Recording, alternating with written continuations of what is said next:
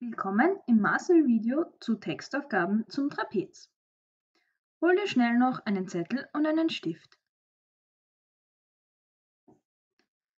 Ich zeige dir nun die Textaufgabe. Lesen wir sie uns gemeinsam durch. Tina will ihrem Mathematiklehrer eine trapezförmige Karte zum Aufklappen basteln. Sie soll folgende Maße haben. a ist gleich 70 mm, c ist gleich 50 mm, h ist gleich 4,5 cm. Nun will sie wissen, wie groß die Fläche ist, die sie beschreiben kann. Dazu rechnet sie. a ist gleich 70 plus 50 durch 2 mal 4,5. Also a ist gleich 270 Quadratzentimeter. Hat Tina richtig gerechnet? Falls nicht, begründe den Fehler und rechne das richtige Ergebnis aus. Löse diese Aufgabe nun selbstständig. Mach dazu am besten auch eine Skizze. Hast du den Fehler gefunden? Genau, es geht um die Einheiten. Millimeter sind nicht gleich Zentimeter. Schau dir die Angabe nochmal genau an. Wir haben hier Millimeter und Zentimeter gegeben, aber Tina rechnet so, als wäre es die gleiche Einheit. Deswegen stimmt die Rechnung nicht. Ich zeige dir nun meine Skizze. Diese schaut so aus. Ich habe mir dabei rot markiert, welche Längenangaben wir gegeben haben. Machen wir weiter mit der Rechnung. Wir müssen uns nun also für eine der beiden Einheiten entscheiden. Also entweder für Millimeter oder Zentimeter. Wenn wir Millimeter nehmen, dann müssen wir h umrechnen. Und zwar von 4,5 cm auf 45 mm. Oder wir nehmen Zentimeter.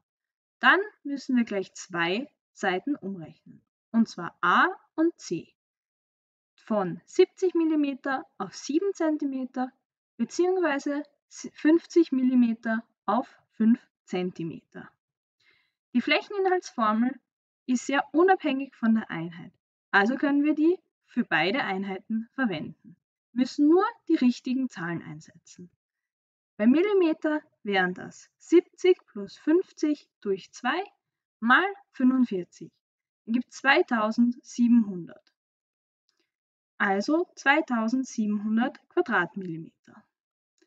Oder in Zentimetern haben wir 7 plus 5 halbe mal 4,5.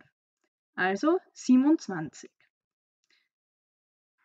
Also beträgt der Flächeninhalt 27 Quadratzentimeter.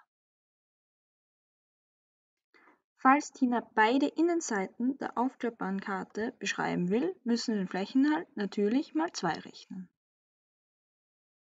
Formulieren wir nun mit unserem Ergebnis einen Antwortsatz. Tina hat 27 Quadratzentimeter oder 2700 Quadratmillimeter, auf denen sie schreiben kann. Wenn sie auf beiden Seiten schreibt, dann sogar 54 Quadratzentimeter oder 5400 Quadratmillimeter. Ich hoffe, du konntest diese Aufgabe gut lösen. Und denk ab jetzt immer daran, auf eine Einheit umzurechnen. Der Lernzyklus zu Textaufgaben zum Trapez ist hiermit zu Ende. Aber du kannst auch bei den anderen Basic- und Muscle-Videos zum Deltoid und zu zusammengesetzten Figuren reinschauen. Bis bald!